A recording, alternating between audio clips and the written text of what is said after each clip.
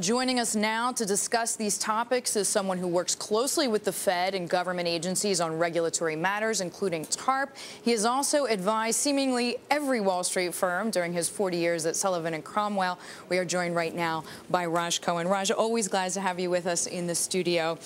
What needs to change in this bill to reach consensus? Erik and I were speaking about it earlier. It feels like the blue dogs must be happy, right? Banking Absolutely. regulators wanted simpler rules. They seem to have gotten ahead uh, with that. What do you think needs to change to get it passed? I think there are a couple of key items. One, we do need to reach a resolution of how the consumer is going to be better protected. Uh, and that involves not only this new agency, but the issue of preemption. And Congresswoman Bean, I think, has an appropriate compromise on preemption, which hopefully uh, will bridge the gap.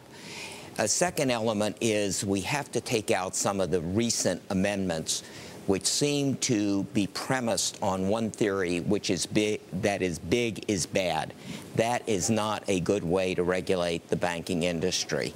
But I do think there are substantial elements of a compromise. Congressman Frank, Chairman Frank, I think, has done a marvelous job of trying to accommodate various interests. So I am actually optimistic we'll get there. How about the issue of Fed independence? This is also swirling around Congress, Rodge. Uh, one might presume that the banks would like to see uh, less interference from the Fed, but if the Fed is subject to the whims of Congress, that might in some ways damage the interests of your clients? Uh, I think much more than the interests of uh, my clients, uh, something which impinges on the independence of the Fed is a threat to the monetary system of this country, to our fiscal responsibility. I cannot think of anything worse than congressional interference with the Federal Reserve's independence.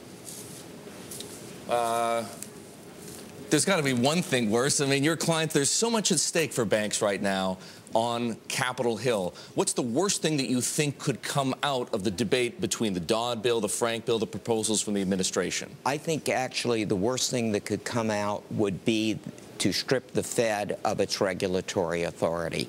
This is the agency which is the most independent is the most sophisticated, has the greatest sources of information. And to pull it out of the regulatory and supervisory system, I think, would be the single biggest error.